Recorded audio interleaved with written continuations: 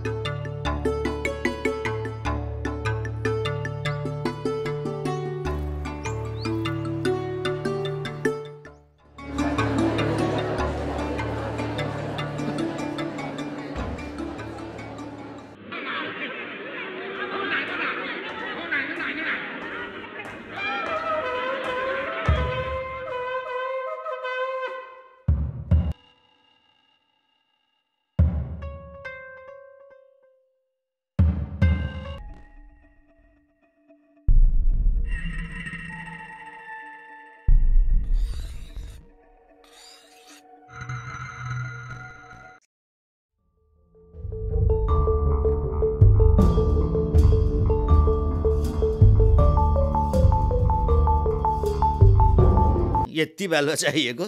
आखिर बालुवै त हो।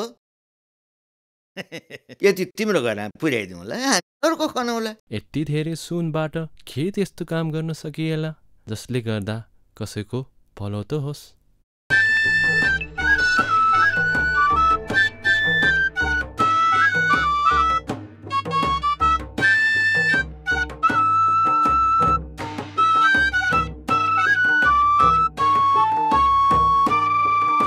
हाम्रा कृपालु जुजु राघव देवले जनतालाई दया माया गर्ने शङ्खधरको बिन्ती सुनेर।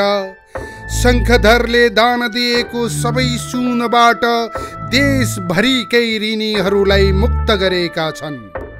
साथै यो खुसीको अवसरमा हाम्रो देशको नयाँ सम्बत नेपाल सम्बत सुरु भएको पनि घोषणा गरिन्छ।